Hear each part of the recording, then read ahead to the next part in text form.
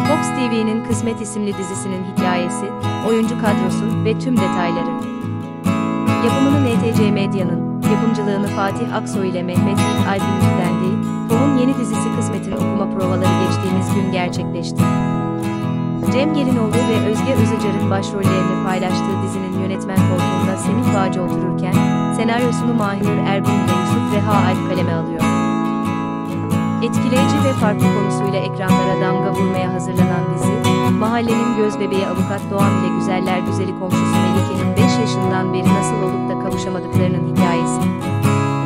Bazen kavuşmak için iki tarafın da çok sevmesi yeterli olmaz ama ayrılmak da kısmet değildir.